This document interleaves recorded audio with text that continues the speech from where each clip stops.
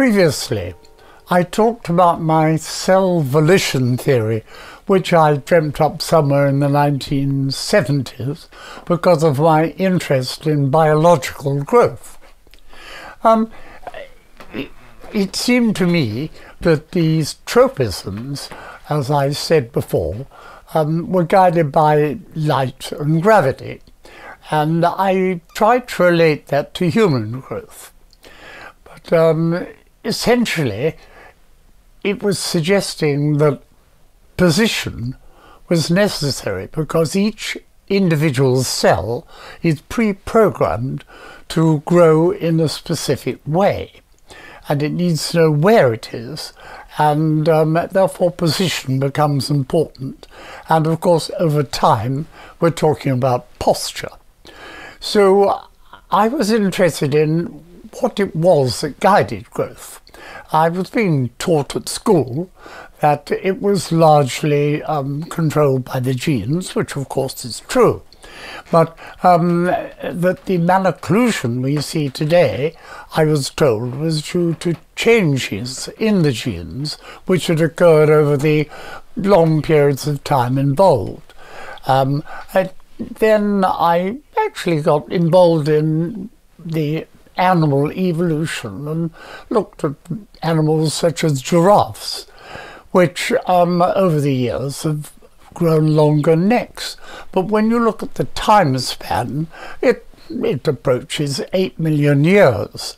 Now that's a long time and represent a minute movement each generation. However, I was being told that uh, malocclusion had occurred in a relatively short period, but over the last 18,000 years. And when I looked at the time scale, it just didn't seem to fit because you can get quite large differences in human growth within just four years. Look at this illustration here. Um, the outcome of this was that I became very suspicious with the concept of genetic guidance of growth. And I did a lot of experiments myself. I initially took bean seeds and I planted them upside down, right way up, and one side or the other. And I'm very interested to see how the plants, which were clearly identically the same, they all came out of the same pod, how the shape of the plant was totally different. You can see from this slide here, depending on which way up it was planted. So clearly the genes may control the growth, but they don't control the shape. I extended this into my theory and I created the, the concept of the tropic premise. I wrote an article on this suggesting that correct posture was needed if you wish to have correct growth. I was interested in the fact that um, animals, by and large, grow very similarly. But um, a, a, chap called Horowitz, back in, way back in 1960, did some experiments on identical twins. And he found that um, there was a, a big variation of growth in the facial area the rest of the body was more or less the same, but there was quite a wide variation of actual growth of the jaws within identical twins. Well, they had the same genes. Therefore, I thought something must be causing this.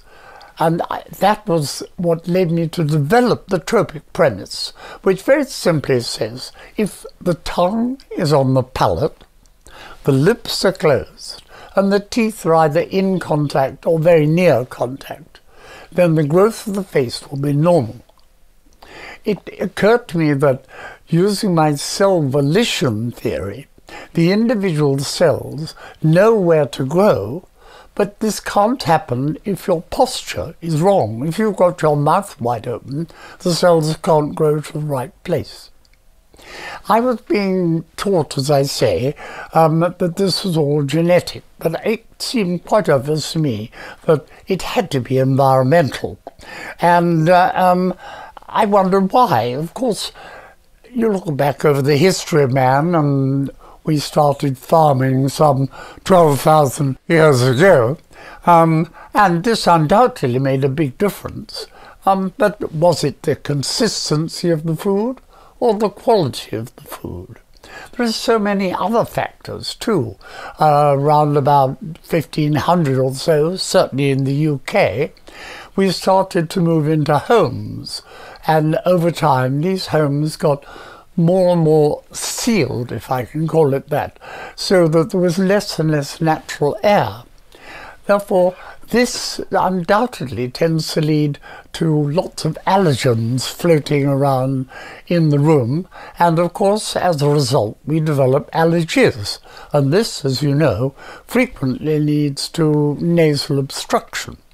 And this is what I felt was possibly altering the posture because if a child can't breathe through their nose, they'll open their mouth, and you'll then have quite a, a, you know a destruction of the normal posture, leading to a deformation of the bones and to a lesser extent the tissue. There seemed to be um, a major influence in young children.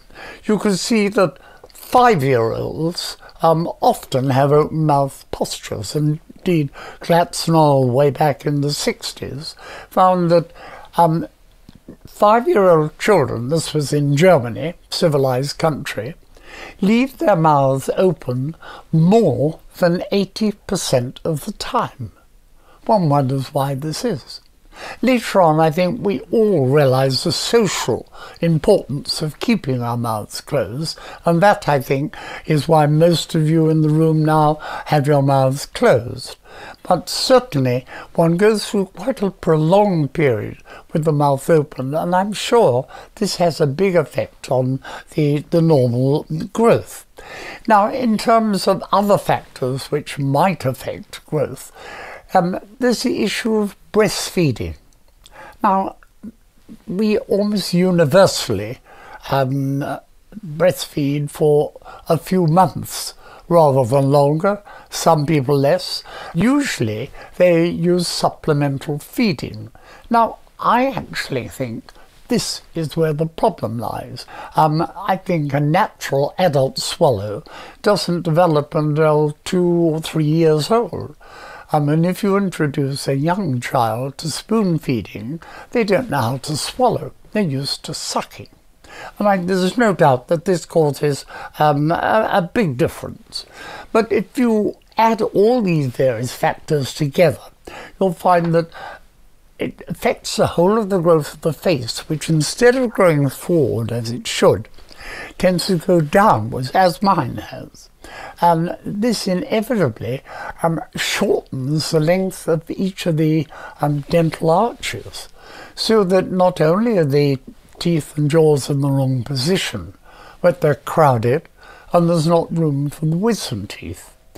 Now, some people say to me, well, what can we do for our children to avoid them having these problems? And rather jokingly, I say, well, the best way is to sell your home, buy a cave, perhaps in a mountain, and just live off natural foods that you can find. Um, I don't find many takers for that. Um, and we'll actually discuss the more practical ways in which we can influence the growth in my next address. But essentially, it will be about position and posture.